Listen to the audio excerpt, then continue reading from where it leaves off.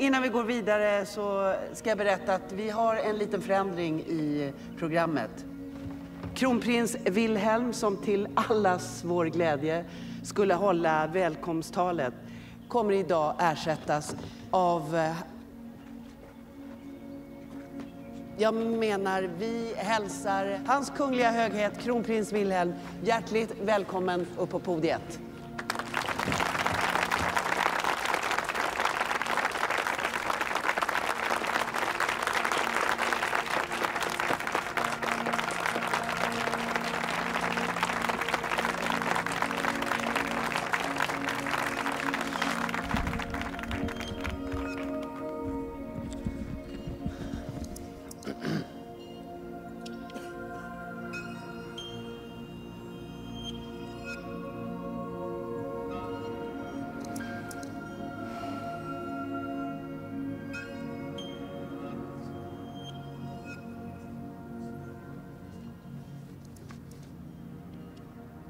Ers Majestät, kära mamma och kära Hillisar.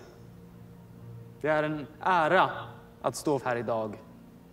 Inte bara i egenskap av kronprins utan också som er klasskamrat. Hillerska är inte bara den plats där vi utbildas till goda medborgare för att i framtiden kunna ta det ansvar som ålagts oss det är också ett hem. Hillerska blev ett hem för mig. Precis som det var för min kära mor. Och för min bror innan mig. Skolans motto är Känn ditt ansvar för arvet. Var stolt över din historia. För traditionerna vidare till nästa generation.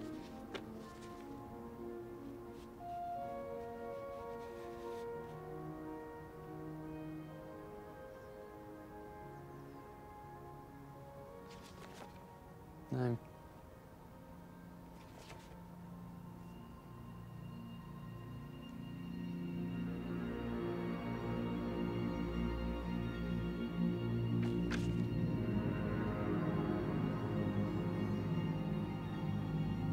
Det är ett problem att bara fortsätta traditioner utan att stanna upp och tänka efter över vilka som är bra och vilka som är dåliga.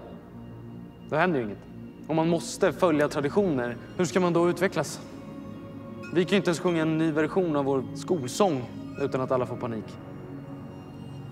Och vi har hemligheter för varandra. Vi ljuger. Vi låtsas skydda varandra för att vi är rädda för vad som händer annars. Vi är rädda för konsekvenserna. Jag med.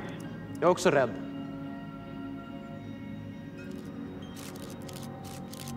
Men jag tänker sluta med det nu.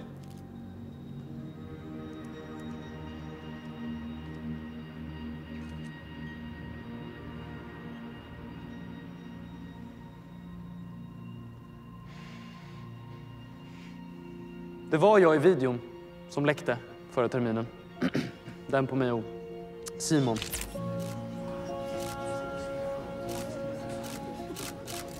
Du, hallå!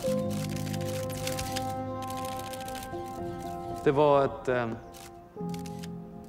ett ögonblick som jag inte ville dela med någon annan, så jag ljög om det. Men det var jag.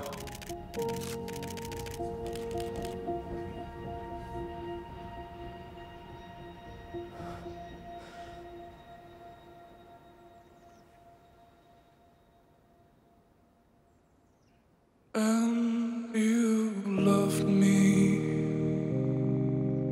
I could feel it. Cause I loved you. Can eclipse it.